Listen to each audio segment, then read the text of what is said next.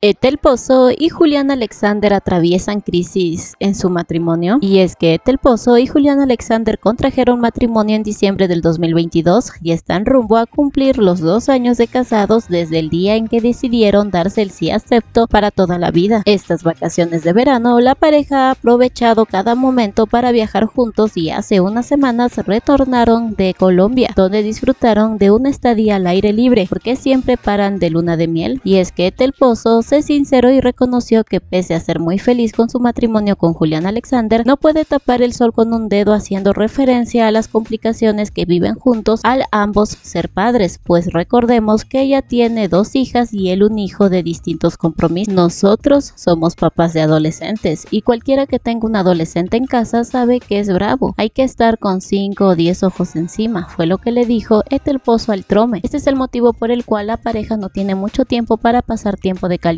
pues ambos priorizan su labor como padres y conversan sobre la mejor opción para criar a sus hijos adolescentes, no siendo esta una tarea fácil que digamos. Pero, ¿qué hay de cierto en que el amor entre Etel Pozo y Julián Alexander se está apagando? Etel Pozo reconoce que en su día a día no tiene mucho tiempo para derrochar sus sentimientos por su esposo al ambos tener otros temas de conversación. Sin embargo, justo por ese motivo viajan constantemente y poder ponerse al día de lo que no se puede hablar en la rutina diaria se pueda, cada cierto tiempo es bueno ir de viaje juntos porque en el día a día no estás de luna de miel. Tenemos esos pequeños momentos que compartimos y hacen que sea como inyección de vitaminas. Es lo que manifestó la hija de Gisela Valcarce. Sin embargo, recalcó que la llama del amor no se ha apagado entre ambos y justo es eso lo que los motiva a seguir día a día fortaleciendo su matrimonio. Estamos muy enamorados, gracias a Dios, es que nos hemos conocido en una etapa en la que ya sabemos lo que queremos. Somos dos adultos que ya sabemos lo que no queremos y lo que sí necesitamos que funcione. Es lo que añadió la conductora de América Hoy. Recordemos que este 2024 la hija de Gisela Valcárcel seguirá en la conducción de América Hoy, mientras que él, es decir, Julián Alexander, se desempeñará en la empresa de su hermana Michelle Alexander, del barrio Producciones, como director de telenovela. ¿Será su amor más fuerte que la adversidad? Yo soy Lop